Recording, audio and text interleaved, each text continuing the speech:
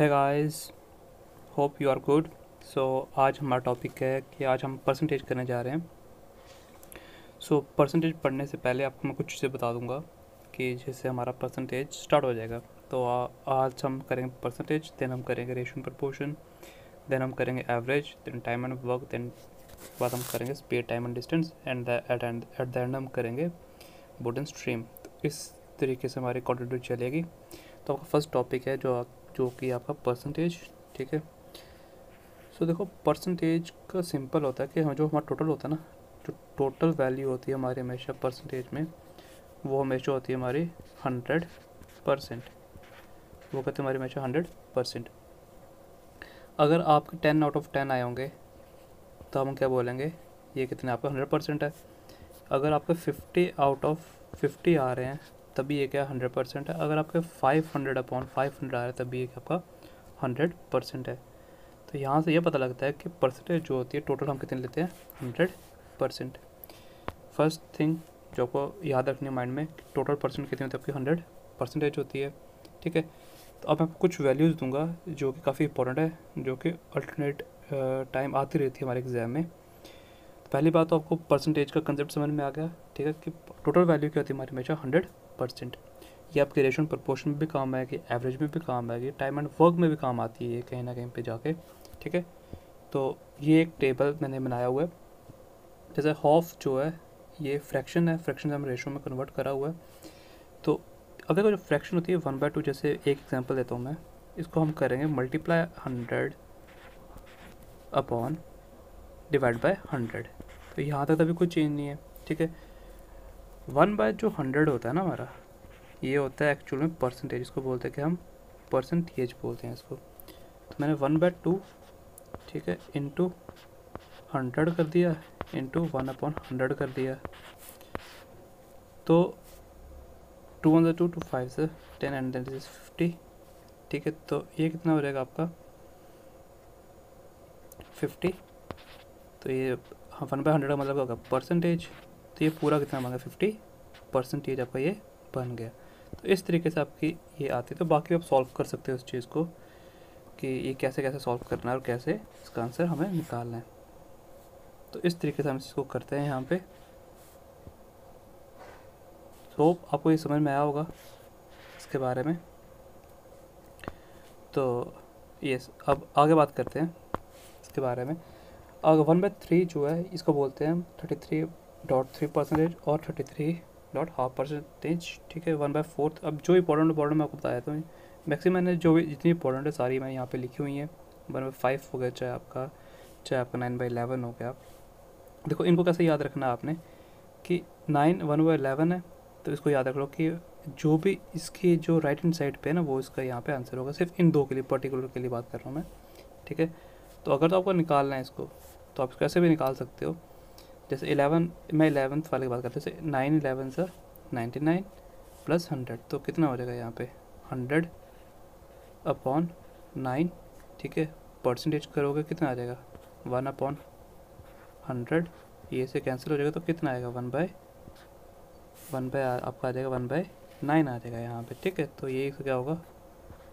Answer हो जाएगा, ठीक है? तो ये इसका आंसर आ गया। तो ऐसी सारी टर्म्स दी हुई हैं, आप किसी का भी निकाल सकते हो। और इसमें एक इंपॉर्टेंट जो है हमारे लिए, वो है ये। आपका वन बाई एट जो वैल्यू है, ये किसकी है?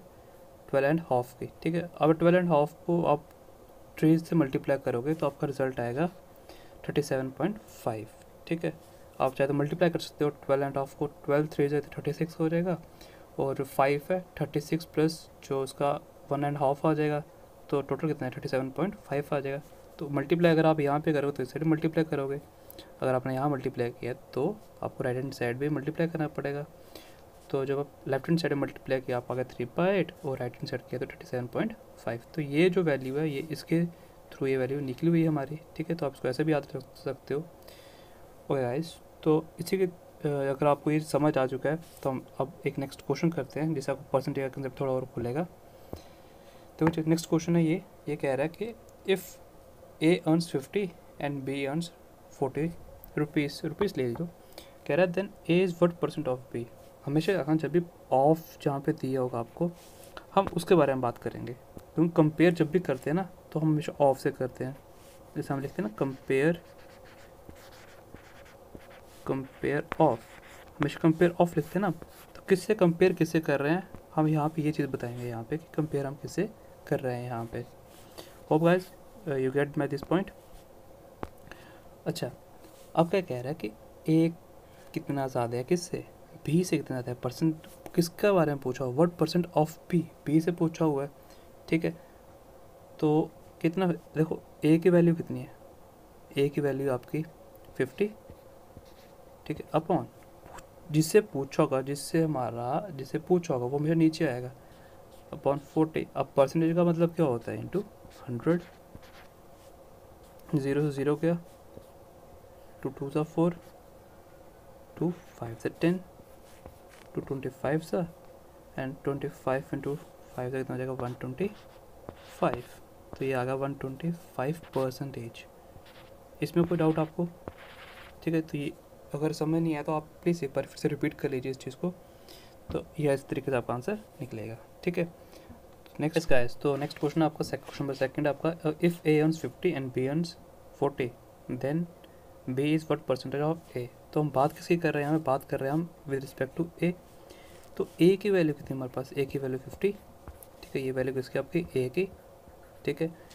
पूछ किसके साथ रहा है विद रिस्पेक्ट टू बी तो बी की वैल्यू कितनी होगा फोर्टी ठीक है? इंटू परसेंटेज निकालनी है तो कितना आ जाएगा आपका? परसेंटेज के लिए आया था हमारा hundred fifty fifty fifty to the hundred and the answer is eighty percentage इसमें कोई डाउट ठीक है, आपको चेक करना है कि पूछ किस साथ रहा है। आपको हमेशा क्वेश्चन चेक करना है कि वट वट किस पे है। वट जिस पे भी है, वो वैल्यू आपको हमेशा डाउन तक रेट आती है। जब भी जो नीचे वैल्यू होती है, हमेशा हमारी वो कौन सी वैल्यू होती है? आइधर वो रियल वैल्यू हो गई, ठीक है, और इसको बोलते हैं एक्चुअल वैल्यू क्या बोलते हैं हम इसको? एक्चुअल वैल्यू ठीक है? तो ये एक्चुअल वैल्यू भी हो सकती है आपकी। होती है, ठीक है? हो कह सकती है होती है। हमेशा डाउन द ग्राउंड हम वो लेते हैं जो हमारी एक्चुअल वैल्यू होती है, ठीक है?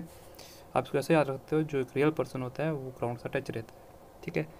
यस तो जो हमारा नेक्स्ट क्वेश्चन है, कह रहा if A earns fifty and B earns forty then A is how much देखो, यहाँ पे क्वेश्चन यहाँ पे फंसता है कि how much percentage more than B यहाँ पे क्या पूछ है कि हाउ मच कितना ज़्यादा ज़्यादा कम है ना? अभी कभी ज़्यादा पूछ सकता है, कभी कम पूछ सकता है। हाउ मच कितना ज़्यादा? ठीक है क्वेश्चन समझ में आ गया?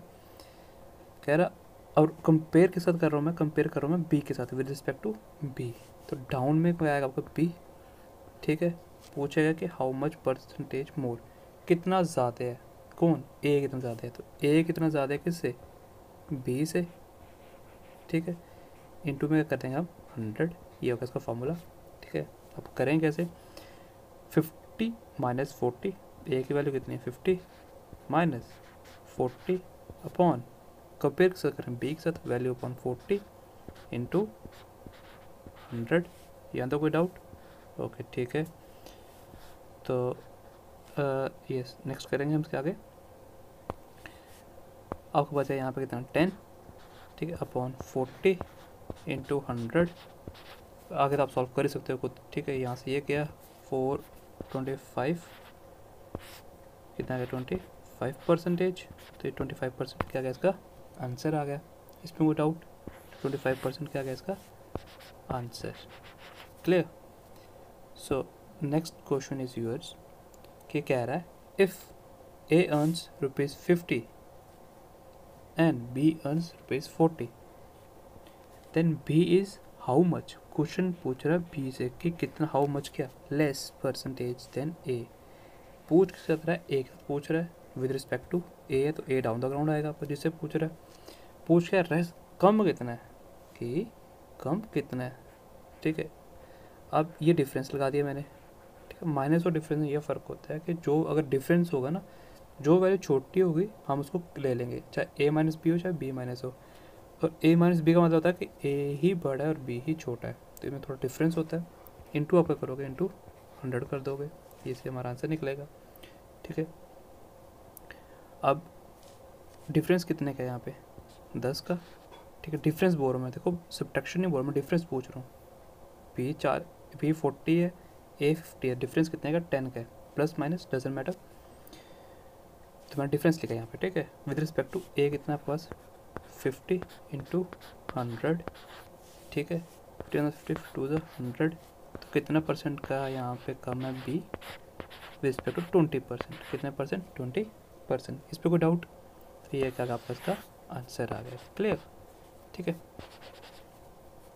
So next question is yours अब ये ऐसे एग्ज़ाम में क्वेश्चन आते हैं।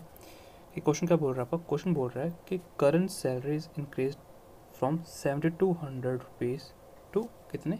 एट वन डबल ज़ीरो ठीक है? What is increase price in salary यार अगर उसके बहत्तर सौ रुपीज़ थे तो कितने इंक्रीज हो गए? टू एटी वन हंड्रेड ठीक है? वट इज़ इंक्रीज सैलरी अब हमें पता है, पहले थे उसको सेवेंटी टू कितनी होगी इंक्रीज कितनी एट वन डबल ज़ीरो तो एट हंड्रेड करेंगे तो कितना हो जाएगा? सेवेंटी टू में अगर एट हंड्रेड करूँगा एट थाउज़ेंड प्लस वन तो इंक्रीज़ कितनी हुई इसकी? नाइन हंड्रेड ये इंक्रीज़ हुई है। कितने पे हुई है? टोटल वैल्यू एक्चुअल वैल्यू क्या थी? मैंने कहा था ना हमेशा रियल वैल्यू हमेशा कहाँ आती नीचे आती है? सेवन टू डबल ज़ीरो यही था। ये बताया था मैंने आपको, निकालना क्या है? परसेंटेज कर लो इंटू हंड्रेड तो ये वैल्यू आ गई थी हमारे पास। ज़ीरो से ज़ीरो क्या nine one nine nine eight ज़ा सेवेंटी टू तो कितना आ गया? वैल्यू आ गया हमारे पास हंड्रेड अपॉन एट और उसको कट करोगे तो इस वैल्यू आ जाएगी ट्वेल्व पॉइंट फाइव परसेंटेज तो ये क्या इसका? आंसर आ गया क्लियर ट्वेल्व पॉइंट फाइव इसका आ गया आंसर हो guys you like the video if you like the video please like the channel and subscribe the channel also thank you have a nice day